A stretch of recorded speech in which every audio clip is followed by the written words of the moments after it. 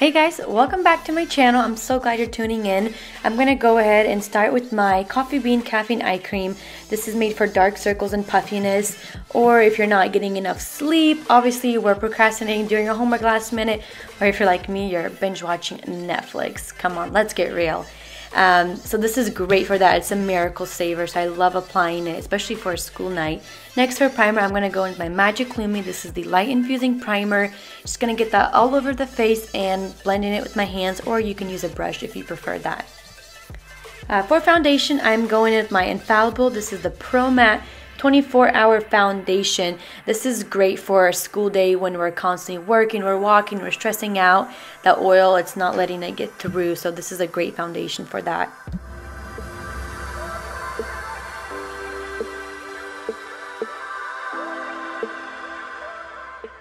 To conceal those dark circles, I am using the Garnier Skin Renew Anti-Dark Circle Roller. This thing is not talked about much, but I love it. It works so good and has that perfect banana color to it. So I definitely recommend this product. And again, these are gonna be all drugstore products, um, so it's nice and affordable for you guys. Then just gonna grab a beauty blender and blend that all, also apply into my lid using that kind of as my eye primer. To set the concealer, I'm going to go in with my Wet n Wild Mega Glow Contouring Palette Contour. I just bought this and I was actually so surprised. It's so buttery. It works so well. It's so easy to blend. And I'm just to put that all over the face.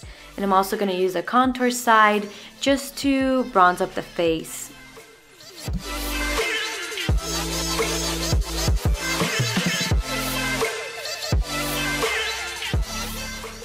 For the blush, we're to pick up my all-time favorite blush palette. This is the Morphe 9N. I'm just to grab these two colors and apply it to the apples of the cheeks, not overdoing it.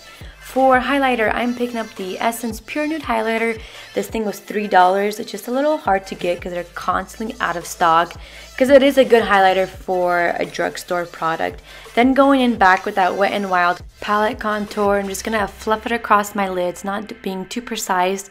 Then picking up my Maybelline color tattoo.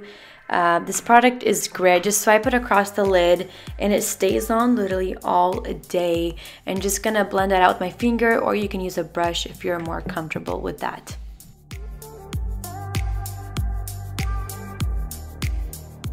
For my brows, I am grabbing my NYX Cake Powder. I'm gonna use this brown right here and just gonna fill in my empty spots on the brows.